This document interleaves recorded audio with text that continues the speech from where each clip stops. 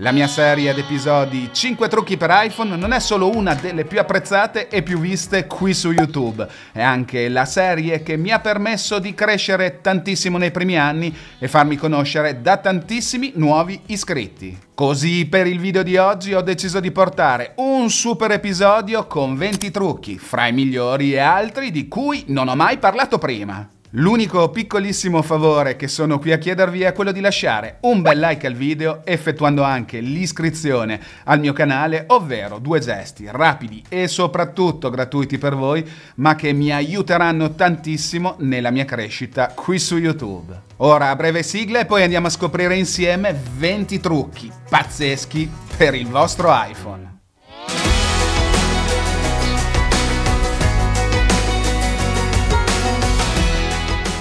E cominciamo subito con il trucco numero uno che riguarda gli screenshot in Safari perché vi voglio far vedere come screenshottare un'intera pagina web. Andiamo quindi ad aprire Safari, mi ritrovo nella home page di Apple, vedete che se scorro verso il basso c'è tutta la pagina e voglio appunto farvi vedere come screenshottare tutta questa pagina. Quindi prendo l'iPhone e vado a fare lo screenshot nel modo classico, ovvero tasto laterale destro più tasto volume in su, sentite lo scatto ed ecco qui lo screenshot eh, che è stato acquisito, ma vedrete subito immediatamente una differenza perché ci sono eh, due tab in alto, uno si chiama schermo e uno si chiama pagina intera. Quello che dobbiamo fare è tappare proprio su pagina intera e vedrete comparire una colonna al fianco in cui c'è proprio tutta la pagina web di Apple. In questo modo l'avremo screenshottata completamente. Una volta che l'avremo screenshottata, se la vogliamo esportare tutta, ci basterà fare un tap su fine e qui potremo decidere di salvarla come PDF su file, ma anche, è una novità di iOS 17, anche su foto, quindi crea una vera e propria immagine che finirà nel rullino foto. Proviamo a salvarla proprio su foto, andiamo a riaprire l'album delle fotografie ed ecco qua, la vedete, tutta la pagina web di Apple. Se scorriamo in basso la potremo vedere tutta, ma potremo anche ingrandirla perché viene fatta comunque ad un'altissima qualità. Piccolo trucco in Safari per fare screenshot meravigliosi. Il trucco numero due riguarda le foto, meglio come effettuare una ricerca nelle foto, quindi vado a richiamare tutto il mio album e mi sposto proprio in cerca, qui tante volte vi ho fatto vedere come cercare animali, come cercare oggetti, come cercare cieli stellati, ma c'è anche la possibilità di ricercare tutti gli scatti eseguiti da uno specifico dispositivo, come ad esempio un altro modello di iPhone magari. Voi vi ricordate di aver scattato una foto con un iPhone 11 e la volete ritrovare? È facilissimo perché ci basterà andare nel campo di ricerca e digitare il modello di iPhone Apple iPhone e provo proprio a inserire il numero 11 e vedete che mi compaiono 61 foto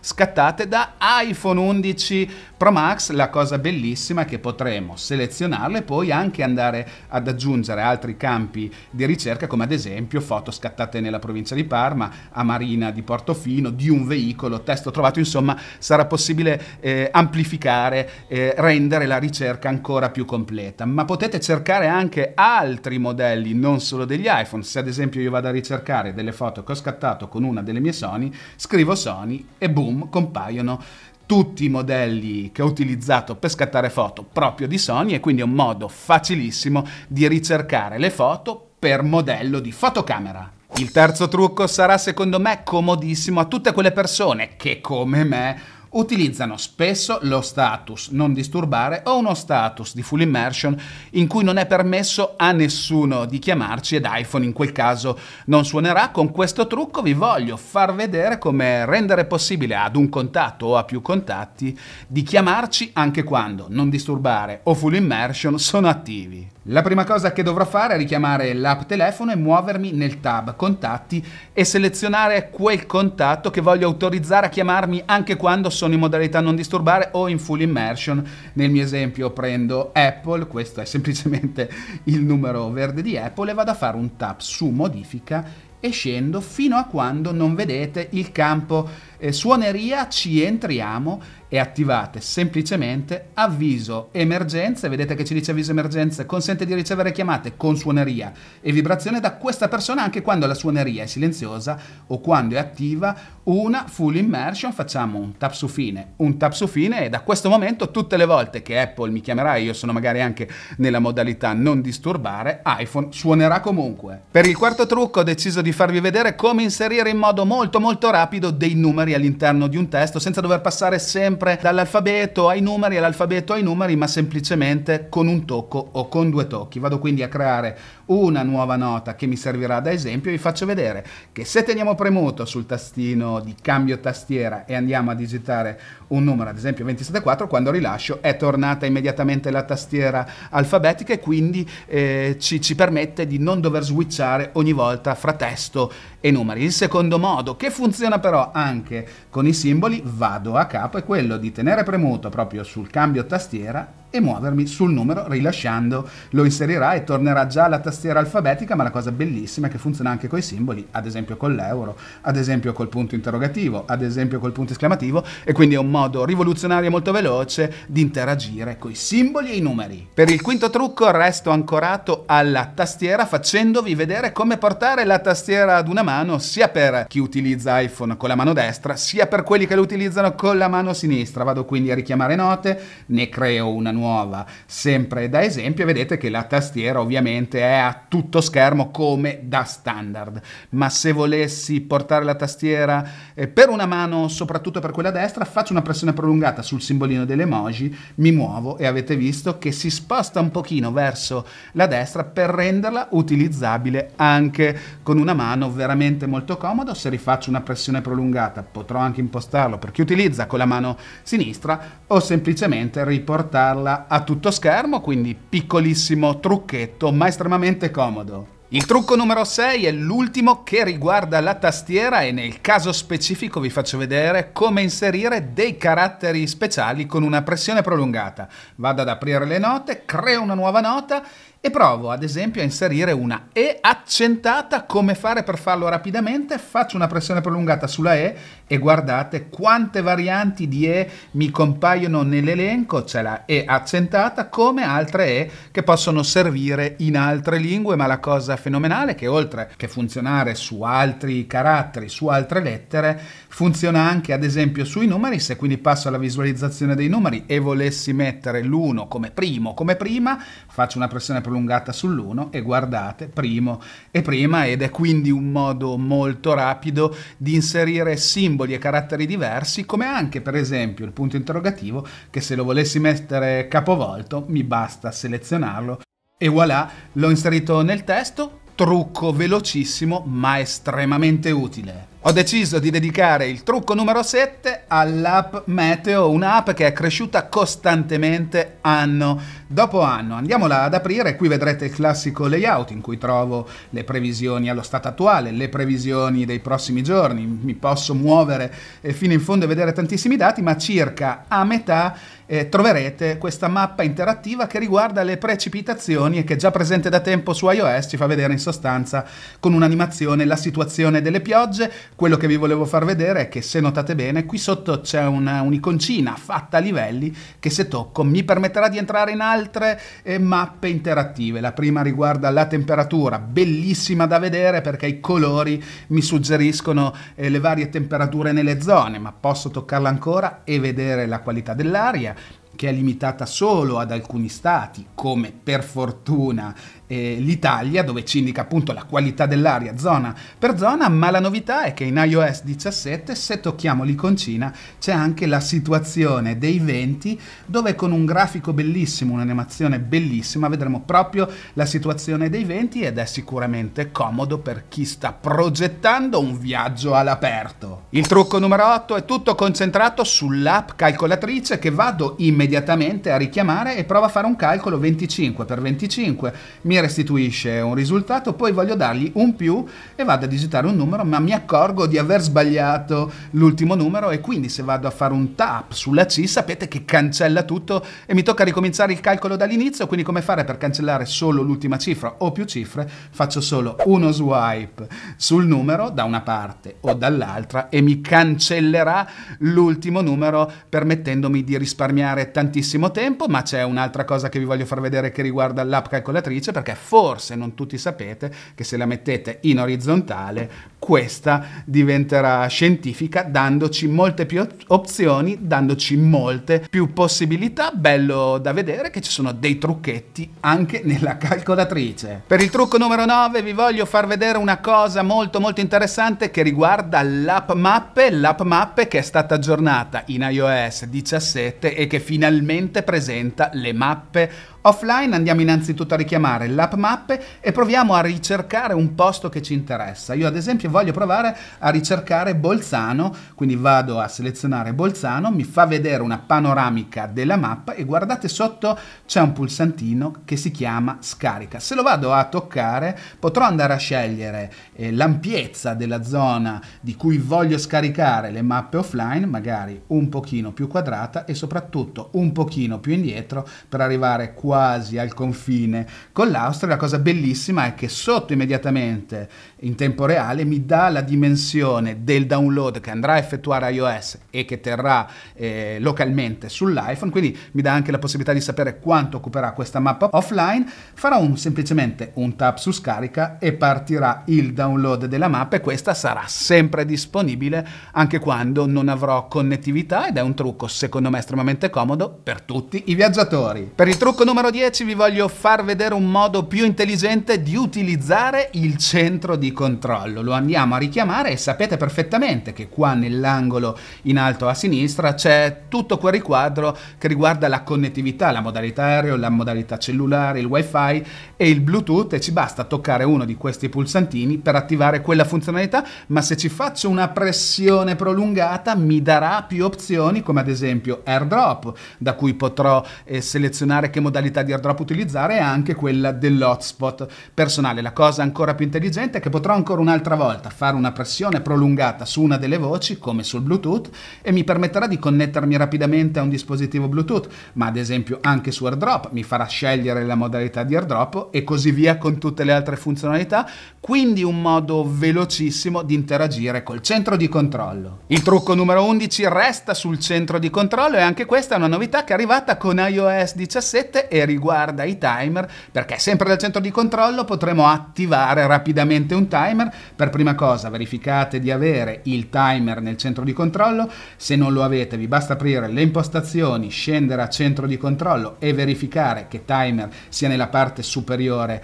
eh, dell'elenco, ma torniamoci per farvi vedere perché una volta che troverete il pulsantino del timer vi basterà fare una pressione prolungata e potrete decidere di avviare rapidamente un timer risparmiando tantissimo tempo. Per il trucco numero 12 ho deciso di farvi vedere come arricchire di informazioni le nostre foto. Vado a richiamare l'album foto e qui sapete che quando riceviamo ad esempio una foto via WhatsApp, ma anche via messaggi o attraverso altri sistemi di chat, può accadere che la foto eh, perda le informazioni come il luogo di scatto ma anche la data corretta e quindi c'è una modalità intelligentissima per aggiungere queste due informazioni ma anche un'altra voce. Vado quindi a scegliere una foto nel mio elenco, prendo questa delle Maldive che ho scattato qualche settimana fa e faccio semplicemente uno swipe verso l'alto e vedete per prima cosa che qui ci dice inserisci una eh, didascalia. Il nome che inserirò in questo campo sarà utilissimo quando andrò a ricercare quel termine all'interno all'interno di tutte le foto,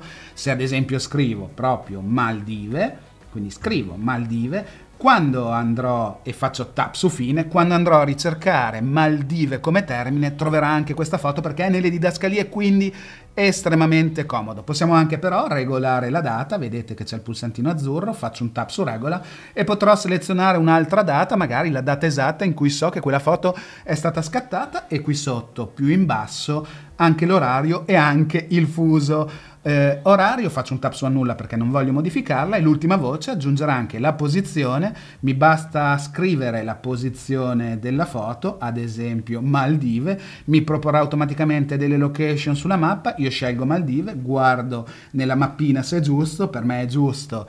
perché lo vedo che è nell'Oceano Indiano e quindi con questo modo avrò fatto delle modifiche importantissime alle informazioni delle mie foto. Per il trucco numero 13 ho deciso di parlarvi di Spotlight. Per chi non lo conoscesse, Spotlight è il cerca trova tutto presente nei dispositivi Apple da tantissimi anni e che negli ultimi tempi è diventato potentissimo anche su iPhone. Come si richiama Spotlight? Si va in un punto qualsiasi dello schermo, si fa uno swipe verso il basso ed eccolo qui che compare con il campo cerca da cui potrò cercare qualsiasi cosa. Quello che vi voglio far vedere quest'oggi è come attivare semplicemente, rapidissimamente delle funzioni dell'iPhone solo attraverso Spotlight. Quindi una volta che l'avrò richiamato, prova a scrivere aereo e guardate, è comparsa la modalità uso in aereo che potrò attivare o disattivare semplicemente con un tocco, ma posso anche provare ad esempio a ricercare una funzione come il Bluetooth. Guardate, è comparsa la voce Bluetooth che in questo caso se andrò a spegnere si spegnerà completamente anche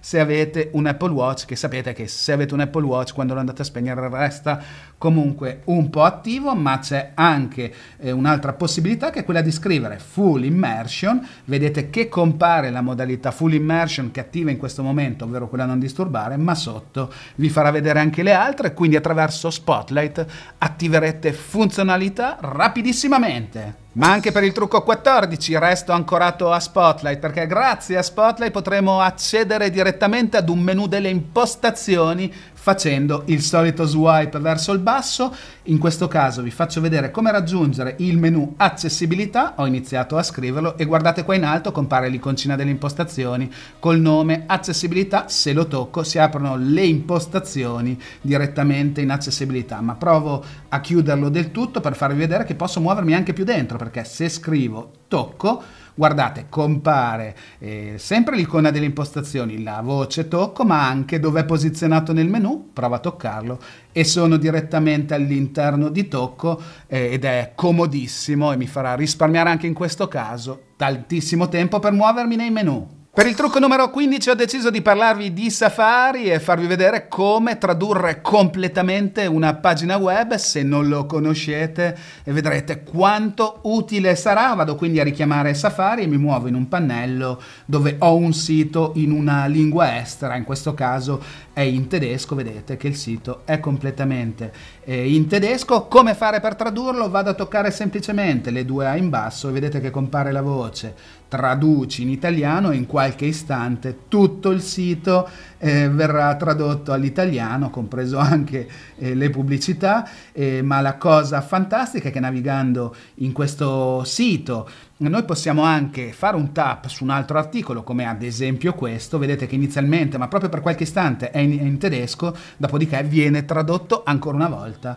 tutto in italiano, quindi un modo semplicissimo per navigare nei siti esteri. Ma anche per il trucco 16 resto su Safari perché voglio farvi vedere una cosa semplicissima ma che vedrete, utilizzerete tantissimo, ovvero eh, come chiudere tutti i pannelli in un solo colpo. Guardate qua, io in questo momento ho sei pannelli e magari non mi servono più, non voglio più leggerli e al posto che chiuderli uno ad uno eh, toccando la X o facendo uno swipe, c'è un modo che mi permette di chiuderli con un semplice tap, quindi resto in una pagina eh, di quelle dei pannelli, faccio una pressione prolungata sul tastino dei pannelli e vedete che compare la voce chiudi tutti i sei pannelli. Lo tocco, mi chiede conferma ovviamente, gli vado a dare conferma e avete visto ha chiuso tutti i pannelli e renderà tutta l'esperienza su Safari ancora più veloce. Il trucco numero 17 è l'ultimo che riguarda Safari perché forse non lo sapevate ma c'è un modo che mi permette di personalizzare ogni singolo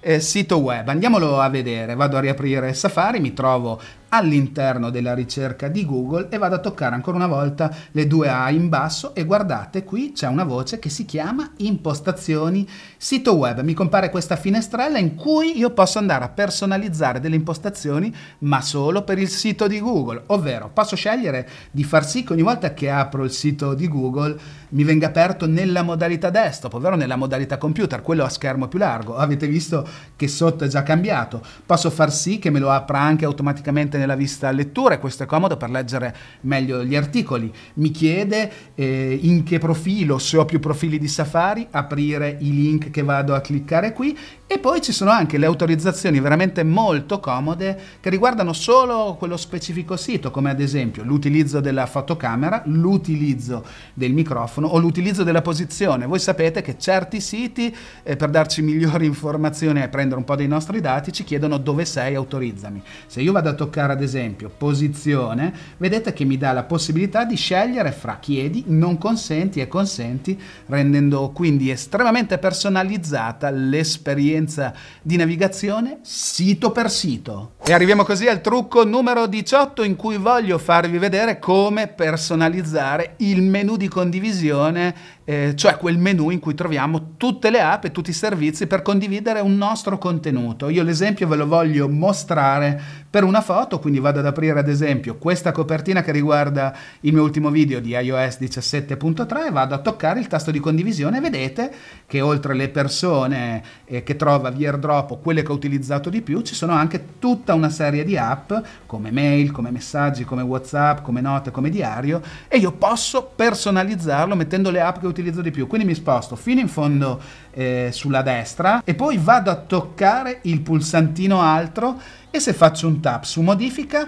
queste più in alto saranno quelle sempre presenti che se voglio aggiungere mi basta per esempio toccare il più e vedete che è andata lì sotto, ma posso anche decidere con le tre asticelle di riposizionarle come mi aggrada. Se io volessi aggiungere diario e metterlo al primo posto perché lo sto popolando tantissimo da quando è arrivato, ecco, così ho fatto. Ma posso scegliere anche per le altre, ovvero quelle non fissate, che non vengano proprio mostrate. Se ad esempio non voglio che venga mostrato mai TikTok, TikTok mi basta spegnere l'interruttore, fare un tap su fine, fare un tap su fine ancora e guardate, diario è stata messa al primo posto e TikTok non c'è più, quindi un modo comodissimo di personalizzare la nostra esperienza di condivisione. Il penultimo trucco, ovvero il 19, riguarda la personalizzazione delle nostre schermate home perché ho visto che tantissime persone non conoscono la possibilità di personalizzarle, modificarle in qualsiasi modo, quindi come facciamo?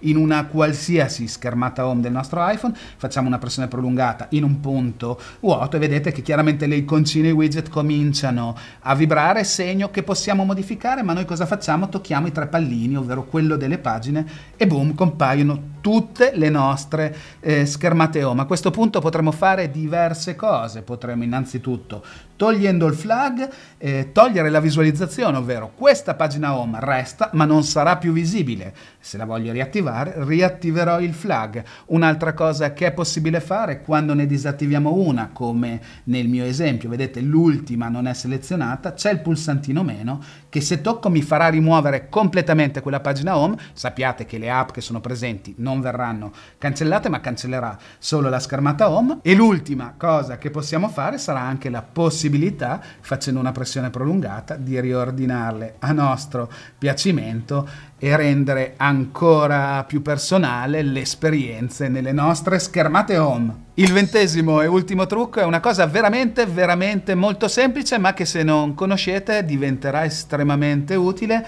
Voi sapete che in qualsiasi punto eh, di utilizzo di iPhone, eh, toccando i pulsantini del volume verso l'alto aumenteremo il volume e verso il basso lo abbasseremo. Quello che forse non sapete per evitare di doverlo toccare tante volte per abbassare il volume è che una volta che lo tocchiamo ci basterà prenderlo e da lì potremo regolarlo rapidamente in su e in giù e regolare così in modo ancora più funzionale il volume del nostro iPhone. Piccolo trucchettino ma molto comodo. In sostanza questi erano i 20 trucchi che volevo mostrarvi nel video di oggi. Spero che per la maggior parte di voi siano tutti nuovi e soprattutto che potranno esservi estremamente utili per migliorare la vostra esperienza con iPhone. Quello che mi interessa di più adesso ovviamente è sapere da voi cosa ne pensate dei 20 trucchi, cosa ne pensate del mio video, quindi vi aspetto i numerosissimi qui sotto nei commenti.